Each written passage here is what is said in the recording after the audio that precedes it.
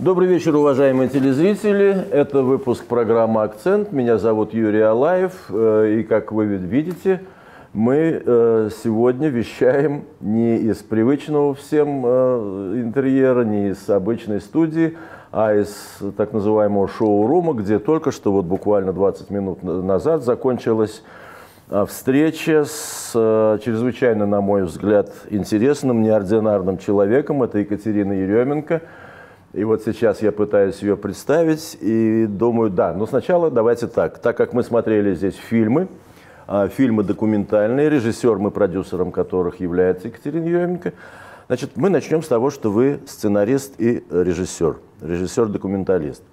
Но мало того, вы топ-модель. Топ от слова топать по подиуму. Да, ну, подиумная модель, да. А вы э, математик по школьному образованию, математику по образованию МГУ, выпускница Мехмата с красным дипломом.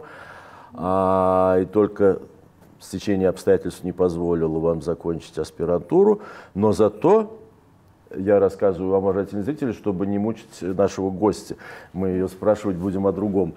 И вы закончили студию у Марлены Хуциева, в Авгике, и потом еще студию документальную, школу документального кино в Берлине или в Нюрнберге. Мюнхене. Ну, это а, такая программа специальная для уже профессиональных документалистов, которая помогает развить проекты для того, чтобы они стали успешны на международном рынке. То есть эта программа, идея в том, что люди, работающие в своей стране, уже делающие фильмы, чтобы помочь им так развить проект, чтобы он стал востребованный не только в родной стране, но и в других странах. Это mm. такая специальная программа. Понятно, спасибо за уточнение. Ну вот на этом я, наверное, характеристики внешние такие закончу, хотя... Mm. Если вы не будете возражать, по ходу я все-таки пару вопросов таких, ну, относительно личных задам. А, потому что среди тех, кто нас смотрит, достаточно большое количество студентов – а, в том числе студентов-журналистов, политологов и некоторые нюансы, связанные с вашими профессиональными приемами, с вашим подходом к сюжетам, их будут интересовать наверняка. Но вот мы только что посмотрели э, несколько фрагментов из э, фильмов, которые в разное время выходили на экраны, были увенчаны лаврами в прямом смысле, да, это престижная достаточно премия в области кинодокументалистики «Лавр» одна за сценарий к фильму э, «Чувственная математика» и одна, если не ошибаюсь... Это, номина... Ну, это, не... это была номинация. Номинация, номинация а да. Лавр за первый фильм. За, за русскую канарейку. русскую канарейку. Кстати сказать, э, так немножко у меня улыбку вызвало. Вы эту русскую канарейку снимали, если мне память не изменяет, в 2003 году она вышла, да? Да, да. А, это фильм по идее, о фестивале канаречного пения. И э, мы постараемся вот перебить наш разговор некоторыми фрагментами, если не возражаете, чтобы здесь все сразу не пересказывать. Но что вызвало улыбку, в три года назад э, Дина Рубина, популярный писатель в детективном жанре, э, запустила серию, как она это назвала, трилогия – э, такая иронический детектив, или как, который так, тоже так называется, «Русская канарейка». Я просто подумал о том, какие бывают разные русские канарейки. Ты даже, не, не читала даже, даже, Я тоже не читал, но уже заяв, заявка идет, mm-hmm. что это вот такой шпионский, mm-hmm. детективный какой-то сюжетик и так далее. Но э, помимо этого я забыл еще упомянуть, что вы несколько лет э, работали в программе «Времечко», в качестве корреспондента, в качестве репортера. И ведущий. И ведущий. И первый вопрос, самый простой, вот насколько этот опыт э, журналистики, здесь такое пересечение любопытное, вы прошли школу такого метра, как Марлен Хуцеев, а потом э, такое легкое снижение жанра, э, вы занялись репортерской работой а, и вернулись все-таки к кино, но к кино документальному. А, здесь нет некого вот какого-то, ну, дисгармонии какой-то, вот дробности вот в этой линии. Нет, знаете, во-первых, это все параллельно происходило. Сначала, я даже не помню, как было. Сначала, по-моему, это было параллельно. Я училась в Авгике и работала во Времечко. И для меня этот опыт был очень важный. Не просто учиться в Авгике, а еще делать какие-то практические работы, которые востребованы на телевидении. У меня, у меня все время были проблемы мы, студенты, должны делать игровые работы. Мне все время нужно было как-то угу. понимать, для чего я что-то делаю. И когда я делала эти репортажи и знала, куда они потом могут войти, мне это помогало, мне смысл был в этом какой-то. И Хуциву мы показывали, тоже показывал свои эти репортажи, они ему нравились, ему нравилось чувство юмора на экране. Он не противился тому, что нет, вот вы нет, так нет, нет. Он, кстати, такой... был, он, кстати, сам любил программу «Времечко», потому что это была очень свежая программа. Были совершенно непрофессиональные ведущие, которые абсолютно, мы все говорили очень неправильно, зато была какая-то, какой-то воздух свободы, какой-то драйв, и это был прямой эфир, это ужасно бодрит. Ну да, прямой эфир. Да, адреналина это... хватает. И до сих пор я дружу с некоторыми ребятами, с которыми мы тогда вместе работали. Это было прекрасное время. И знаете, что было хорошо, что удивительно, мы могли реально как-то каким-то людям помогать. И это здорово очень. Я потом уже работала на Первом канале. Я помню, что я сделала один репортаж. После моего репортажа семье дом подарили а другому человеку квартиру дали. Но это, конечно, возможно было, когда репортаж на Первом канале, а семья в Якутии. Конечно. Не в Москве. Не, не в Москве. Но в вообще это очень приятно, когда ты делаешь какой-то репортаж трехминутный, потом как-то это влияет на судьбу. Ну да, в советское время э, это считалось делом чести для любого солидного издания, для газеты. Да, вот письмо сначала позвало в дорогу, потом из дороги вы вернулись, написали какой-то материал, кого-то поставили на место, бюрократа заблочили, хорошему человеку помогли, ему что-то дали. Ну, традиция такая, да, не, не прерывалась в каком-то смысле. Но я на самом деле спрашивал об этой дробности еще, знаете, почему? У меня э, вот по тем фильмам, которые я, ну, чувственную математику я полностью видел, здесь вот несколько фрагментов вы представили, у меня сложилось впечатление, что вы все-таки снимаете не вполне такое каноническое документальное кино, что в нем достаточно серьезно присутствует и некая постановка в хорошем смысле слова, да, то есть вот эта вот рука режиссера, и ваши герои, а, это не такая камера, которая там, да, откуда-то из засады, там вот э, скрытая съемка. Ваши герои ведь играют в ваших фильмах, я не знаю, они поддаются там ваш, вашей энергетике, как она сообщается. А, не получается ли так, что в результате мы э, видим картинку, не вполне соответствующую документу эпохи, не вполне соответствующую реальности? Меня совершенно это не волнует, что так. мы видим в результате. Мне интересно работать с людьми, с которыми мне интересно. Мне сейчас работать с документальными живыми людьми интереснее, я так думаю, чем было бы интереснее пытаться из актеров что-то вытащить. И я бы не стала так э, жестко себе какие-то рамки ставить, определять, что э, можно делать, что нельзя. И главная этика. Если ты не нарушаешь этический закон, если ты бережно относишься к людям, то то, что я никого не обманываю. Да, я понимаю, но вы... А вот вы очень правильное какое-то слово использовали, вот эта энергетика, которую ты передаешь героям, действительно это очень важно. И для меня это был важный опыт, когда я работала моделью, насколько, чем хороший фотограф отличается от плохого? Именно тем, что он такую атмосферу создает, что ты чувствуешь себя свободно, как ты себя выражаешь, как ты не можешь выразить себя в другой ситуации. В этом-то, собственно, и есть смысл. И модели когда я работала моделью, были топ-модели не те, которые там идеально красивые, у которых правильная черта лица, а именно какая-то энергетика, какие-то классные девчонки, у которых какая-то положительная энергия, аура. За ними интересно смотреть. И поэтому, мне кажется, сейчас я, когда по другой сторону камеры, я стараюсь именно такую атмосферу создать, где люди максимально интересно себя проявляют.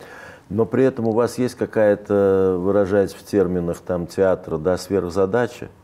Вы же ставите перед какой... Вот, вот вы сделали фильм, вот этот вот «Чувственная математика», прекрасный фильм. Э, мы с вами об этом до записи, до эфира говорили. Я поделился своим, своим восхищением операторской работой. Павел Костомаров. Да, Павел Костомаров. А, но что вот в этом конкретно по этому фильму, что вы что вы хотели? Это, я, я это... с удовольствием отвечу на да. этот вопрос. Что мне было важно? Полностью изобразительное решение было абсолютно могла спиной повернуться, что называется, к Павлу, потому что я знала, что визуально полностью мне даже лучше не вмешиваться. А мне важно было ввести моих героев в состояние, когда они начинали думать. И когда я смотрела материал, когда я смотрела за людьми, которые находятся в своем мире, когда они реально думают о чем-то, вот тогда для меня начиналось что-то сакральное, за этим безумно интересно наблюдать. Моя задача режиссерская была показать страсть, остальное все не важно, страсть их и наука. Вот Ради чего? Катя, вы меня простите, но вы общаетесь с такими людьми в этом фильме, с филдсовскими лауреатами, да, с гениями математики. Не самая, по-моему, сложная задача заставить их думать, как вы сказали. Они, по-моему, э, без этого просто не существуют. Чтобы они забыли про камеру, начинали думать а, о вот... своем. А я, у меня был даже какие-то свои, свои даже фокусы, свои трики. Потому что, ну как, обычный адекватный человек приходит к нему журналист, что-то его спрашивает, он отвечает, и нормальное желание, чтобы журналист скорее ну ушел, ну, да. оставил его в покое. Люди, которые снимались, они не ищут публичности, им совершенно не нужна реклама. Наоборот, это мне нужно было еще придумать, чем их увлечь, почему они должны соглашаться, и раз, и почему они должны время свое тратить на меня. Вот почему. По-разному, по разным причинам. Максим Концевич, он посмотрел предыдущий фильм «Мой класс». Э, Никита Некрасов, который учился в моей школе на 4 года младше меня, в классе которого я преподавала, он э, коллега Максима. Это мы говорим о героях фильма «Чувственная математика». Да, он принес Максиму предыдущий фильм «Мой класс». И, видимо, они решили, вот, что это хороший фильм. Фильм «Мой класс» — это про судьбу одноклассников. И Максим считает, что это хороший фильм, ему было это интересно, он согласился сниматься в следующем фильме. То есть я свою репутацию режиссерскую, это очень мне важно. Каждый раз, когда я с героями, с какими-то новыми встречаюсь, я обязательно дарю им свои предыдущие фильмы, чтобы они видели, как я бережно отношусь к герою. Если бы ко мне пришел режиссер и предложил меня снимать, я бы никогда не согласилась, не зная, что он делает с героем. Угу. Вот это сам, э, этика самая важная, потому что... Бэкграунд важен не то чтобы бэкграунд, важно, важно личное качество человека, который, потому что когда живой человек снимается, ты разрешаешь ему лезть в свою жизнь, конечно, у режиссера оказывается материал, который можно по разному сторонам повернуть. Ну, да. И вот это очень важно, доверять человеку, которому ты доверяешься. Вы заметили, что ваши герои не нуждаются в публичности. Ну, понятно, что они, они не ищут публичности. Они не ищут Мы публичности, нуждаемся в их они, они самоценные личности. Но вот я посмотрел на первого героя, Вилани, да, угу, Цедрик угу, Вилани. Угу. Ну, я понимаю, что это такой нормальный выпускник Эколь Нормаль, угу. но, но в то же время он, конечно, актер, и видно, что ему-то как раз публичность нужна.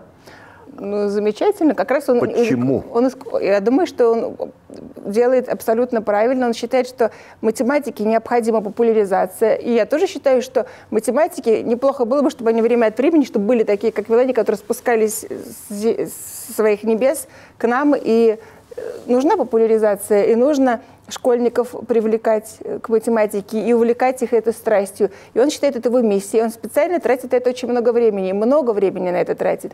И даже его э, стиль одежды и поведения, я думаю, все подчинено вот этой его задаче, и он прекрасно отдает себе отчет, на самом деле у него все под контролем. И он вот. очень адекватный человек, и он очень, очень э, ну, прагматичный, наверное, немножко отрицательное слово, но очень в хорошем смысле рациональный. Рациональный, да, рациональный, да и он все понимающий.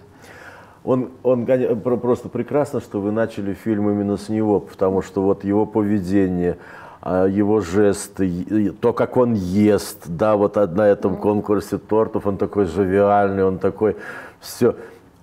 Он, он вот с, уже своим появлением в кадре, он совершенно четко а, подтвердил, что да, речь идет о чувственном, о чем-то чувственном таком, о чувственной математике. Но не все ваши герои таковы, да, и я не хочу никого обидеть ни на кого, и, или показаться каким-то, в общем, ну, таким не политкорректным абсолютно человеком, но и сказать об этом не могу. А некоторые герои производят впечатление вот реально людей не от мира сего.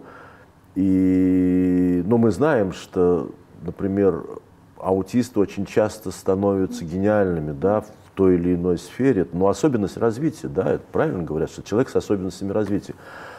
И когда люди, вот этот фильм, о котором мы с вами говорим, его ведь посмотрела очень большая аудитория, насколько я понимаю, он имел успешный прокат, что вообще поразительно для документального кино, тем более для кино о математике. А, и вот люди, которые смотрят это, смотрели это. А, вы не боитесь, что у некоторых вот возникло просто ну, какое-то опасение, что это вот что-то такое, что если я этим займусь, а, то вот просто опасение за собственный рассудок, за то, что все будет хорошо. И, кстати сказать, о Вилани я обратил внимание, при всей своей вот этой вот такой вот живости, э, э, витальности, да, он очень часто употребляет слово «монстр». Он говорит об этом, говорит об этом, но если соединить, это монстр. Опять о том, о том, и опять монстр, монстр. То есть у него тоже такое ощущение, сознание, что вот он стоит, или они, эти люди, математики, эти гениальные люди, стоят вот перед какой-то бездной и долго-долго в нее смотрят, а она начинает смотреть в них, да, как говорят. Я возвращаюсь к сверхзадаче. Вот это популяризация математики. Но так как вы показываете живых людей, они раскрываются перед вами, а, не боитесь, что это может вызвать участие аудитории вот обратный такой эффект, что лучше, вот лучше я займусь рукоделием, условно говоря, да? Не, ну прежде всего я не совсем согласна, потому что мне кажется, в моем фильме все люди здоровые, это очень важно. Я не снимаю сумасшедших людей, я снимаю здоровых, увлеченных людей. Они особенные, они талантливые, конечно, они отличаются от нас, может быть, но душевное здоровье мне очень важно. И наоборот, мне кажется, когда они счастливые люди, даже кто-то мне потом рассказывал, сравнивал этот фильм «Чувственная математика» как фильм фэнтези. Это как будто фильм оказался в некотором смысле проводник в какой-то волшебный мир, да. в котором люди счастливы. И это прекрасно, это очень привлекательно. Я получала очень много откликов, и один мальчик мне написал, что посмотрел фильм «Чувственная математика», решил вернуться к заброшенной диссертации. По-моему, прекрасный отзыв, если кто-то решил вернуться после этого. Кто-то написал после другого фильма «Буквальная геометрия», ну, про то, что людям, бросившимся математику, смотреть осторожно, можно почернеть от зависти. Мне кажется, это тоже прекрасный комплимент, когда ты смотришь на людей, которые счастливы, которые занимаются любимым делом. По-моему, это здорово, и это, наоборот, очень привлекательно. Ну да, и мы с вами и... знаем, и сегодня в аудитории вам задавали вопросы об этом и говорили, сколько в математике трагедий. Трагедии не разума, да, там невозможности доказать какую-то теорему, а трагедии личных. Ну, я даже не стала бы говорить про трагедию, а драм. Я думаю, ну, др- драм. Ну, да, уместнее драма. А потому да. что математики за внешней такой аутичностью иногда скрывается много страстей, которые, может быть, не видно, которые это интеллектуальный труд, э, который не лежит на поверхности, который трудно понимать. И, конечно, люди, когда углубляются в, как, в какие-то темы, конечно, цена вопроса велика, их все усилия, и, конечно, случаются драмы.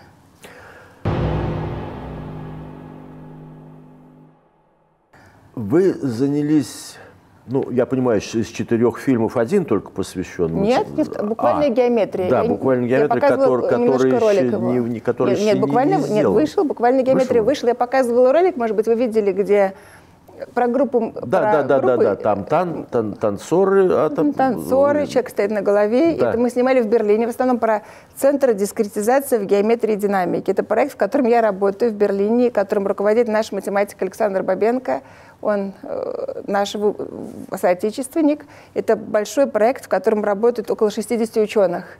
И у меня была возможность быть вовлеченным в этот проект, снимать как раз вот методом наблюдения работу математиков, и мне это тоже очень дорог фильм. Он шел тоже в прокате, буквальная геометрия. И он немножко по-другому снят, чем чувственная математика. И снимала его Ира Шаталова, тоже наш очень талантливый оператор частично. Вы говорите «ваша», вы имеете в виду собственную студию, которую вы основали в Берлине? А, студ... F, F, F, фильм? После чувственной математики я, меня пригласили работать в университет. То есть у меня есть как будто моя фирма, и есть работа в университете. Угу. И в университете как раз я работаю и снимаю вот под крышу университета фильмы, которые популя... должны популяризировать математику, математиков. И мне сейчас очень интересно вот в этой области искать какие-то именно новые формы, новые пути рассказа об этом. Уходить от старых форм – я не снимаю типичное научно-популярное кино, где там обычные интервью ученых, а как раз пытаюсь какие-то находить новые формы, которые мне интересны. И, надеюсь, зрителям тоже. У меня такое ощущение, да, вы меня поправите, если я не прав, что, в общем, вот вы из тех людей, которые живут в ладу с собой и делают то, что они хотят. То, что им нравится. Ну, и, не дел... и не делают... Не все всегда живут. Ну, Но... По мере возможности. Ну, и не делают мере... того, что им не нравится. Вы закончили математическую ну, школу с математическим уклоном, как принято говорить. Вы закончили мехмат. Вам этот мир близок по-своему, да, понятен. А, вы говорите в общем, в общем на одном языке со своими героями, и вы делаете фильм о них. А, понимаешь? Так звучит очень все легко. Ну. ну да, я же говорю, вы меня поправите. А нет намерений или планов заняться популяризацией, например, физики или химии или каких-то других, не обязательно естественно-научных дисциплин? Ну, во-первых, математика сложнее, потому что у физики, химики им есть что показывать. Проще наглядно ну, показать. Да, да, и да. поэтому математика более особенная в этом смысле. Это очень абстрактная вещь. И вы не ищете легких дорог. Но мне это интересно. Потом э, в сложностях есть как раз вызов. А если ну, у тебя да. есть вызов, да. тебе приходится быть творческим, что-то придумывать. Потом обратная сторона того, что я работала среди этих людей, это вещи, о которых я изначально не думала, потому что, казалось бы, чем больше ты проводишь времени среди людей, тем ближе ты к ним можешь подойти, что-то там понять и глубже. Оказывается, не совсем просто. Как я начала работать среди людей, за первую неделю мне многие люди рассказали то, что рассказали, а потом они испугались, потому что я не уезжаю с этим материалом, а продолжаю среди них работать. И вполне нормальные, здоровые отношения на работе с коллегами, но не очень-то раскрываться. Но вот это такая тема, о которой раньше не задумывалась. Поэтому мне нужно тоже для себя было какие-то новые нормы выработать. Даже если у меня были, может быть, какие-то интересные материалы для кино, я понимала же, что фильм я буду показывать студентам, в которых эти люди работают преподавателями, ну, да, да. это тоже какие-то ограничения. Но тем не менее мне хотелось сделать важный фильм, который мне интересен, о очень важных вещах. И это такой был шпагат, который не совсем легко было э, Сделать. При, при, ну, это преодолеть, да. Фильм я очень долго монтировала вот эту буквальную геометрию. Были какие-то эпизоды, которые с точки зрения кино замечательные, но они странно бы вошли в фильм про профессора, который читает лекцию. Все-таки должна быть какая-то дистанция, это нормальные, здоровые отношения. Но, вот, но тем не менее, для меня фильм оказался... Я очень долго вытаскала какую-то человеческую... Одно дело, конечно, там есть сюжет, он как подводная лодка на разной глубине плавает, есть разные линии. С одной стороны, это фильм про проект, мы рассказываем про решение определенной задачи, но Конечно, мне не хотелось потратить, я не знаю, год своей жизни, чтобы рассказывать именно, как они эту задачу решают. Конечно, ты каждый раз ищешь какие-то свои глубинные смыслы, которые к тебе обращаются. Для меня вот оказался это такой вопрос. Э, профессия – огромная часть нашей жизни. Да. И вопрос о том, где ты вкладываешься на 100%, где ты 100% внутри, чем ты готов пожертвовать. Как раз то, о чем мы говорили, математики, почему, ну, то, что они сходят с ума, но почему это близко находится, трагедия рядом, драма, почему? Потому что люди ну, на готовы нам на, на, на пределе возможностей. Конечно. А где я сама нахожусь на пределе? Где та граница, на что я готова, что я, чем я готова пожертвовать, чтобы найти истину? Но это вопрос, это вызов, и себе даже вопрос такой задачи сложно, потому что тут вроде бы я немножечко работаю, тут немножечко, а где на самом деле, где тот самый мой главный фильм, который вообще фильм моей жизни, ну, если я к своей профессии обращаюсь, или к математикам. Вот эта тема очень важная. Даже если ответ на вопрос нигде и ничем мы не готовы жертвовать, все равно задавать этот вопрос нужно, мне кажется, время от времени. Это жесткий вопрос, и вот этот вопрос, эта линия, она в фильме у меня появляется. Для меня это была важная человеческая линия. То есть э, фильм идет 66 минут, мы, конечно, показываем математику, рассказываем математи математику, показываем разные аспекты жизни, у каждого человека своя история, как складывается судьба. Но для меня вот этот очень важный и страшный вопрос был вот этот о том, о своем посвящении делу. И там возникают еще такие философские мотивы, да, независимо от того, с кем из математиков вы беседуете – я не знаю, насколько это лежало в русле замысла, или это такой вот эффект, да, нам не дано предугадать. Но я когда смотрел, э, когда вот э, Виланиза говорила об энтропии, о загадке ее распространения, потом о том, как меняется восприятие объекта, и вот рассыпается все в, в зависимости от того, как на него смотришь, с какой точки зрения, с ракурс. И уважаемый наш академик Фоменко, который говорил о предельной минимизации поверхности, угу. там как-то я вот в этот момент просто подумал, что, похоже, уже не о математике речь идет, а о загадке жизни вообще, о том, где мы, зачем существуем и, и где наши пределы. Это вне замысла или это вот то, что эффект э, реального вот художественного произведения, несмотря на то, что по жанру это документальный фильм? Я сейчас вам не комплимент говорю, я вот искренне хочу понять э, и услышать от вас ответ. Нет, конечно, мне хотелось в каждом сюжете, то, что мы рассказывали, вот тема, которую я говорила про посвящение себя, я про другой фильм говорила, про буквальную геометрию, я понимаю, которую да, вы не видели. Да, я а в чувственной, сюда. в чувственной математике, ну, конечно, мне хотелось дойти до сути у каждого героя, до каких-то вещей. Очень интересная ситуация получилась с героем, который я немножко сейчас показывала, Бисмут, Жан-Мишель Бисмут. Он говорит о свободе, о какой-то полной. И я знаю, что когда фильм вышел, 2012 год, такие настроения в стране, многие такие почти революционные программы использовали... Политический аспект да, вдруг да, возник. Да, абсолютно. Я рассказала Бисмуту, он так смеялся, говорит, Катя, теперь боюсь в Россию ехать, я ничего этого не имела в виду. Я говорила про математику. Ну, ну, ну, ну, ну, просто когда... Дело в том, что оказывается, когда человек говорит о том, что ему ужасно важно, и вот математики мои, которые они находятся в своем мире, говорят о своей математике, находятся вот в этом мире и думают об этом, они произносят какие-то слова. И слова, они становятся как религия, потому что которая по-разному может толковаться. Какие-то фразы, которые на каждого человека определенным образом ложатся. И воздействует. Воздействует, потому что э, Максим говорит какую-то определенную фразу, он имеет что-то свое, но она произнесена в таком состоянии, что она мне тоже апеллирует. Это чисто это... у него шаманское абсолютно Шаман... какие-то вещи, да. Абсолютно. Вот он, не, он, он не проговаривает половину, надо, надо понять, надо догадаться. Вот и он говорит, что нужно рассматривать все одновременно, и вот эти фразы, я, так же, как я думаю, какие-то религиозные тексты написаны, что каждый человек к, своей жизни привязывает и какие-то свои смыслы ну, вкладывает. Да, да. Поэтому они какие-то сакральные становятся. Но если это честно сделано, если человек действительно находится в этом состоянии, когда он наедине со своей страстью, с истиной, с работой, тем, что ему действительно ужасно важно, такое иногда возникает состояние. И вот это действительно объект кино становится. Неинтересно мне было бы снимать фильм, который что-то объясняет. В Ютубе очень много роликов, которые рассказывают, ну, да. как решать квадратное уравнение. А дело кино — это общение, э, обращение к человеку, к его сути. И мне интересно работать с математиками, с учеными. Мне кажется, это самые интересные люди сейчас, которые реально двигают нашу жизнь и придумывают новые смыслы какие-то. И то, как мы сейчас живем, это математики изменили нашу жизнь, вообще говоря. Ну да, математика в основе всех наук, да, я, я помню mm. этот постулат. Нет, ну вообще то, что как мы живем, чем мы пользуемся, это конечно, же... Конечно, конечно.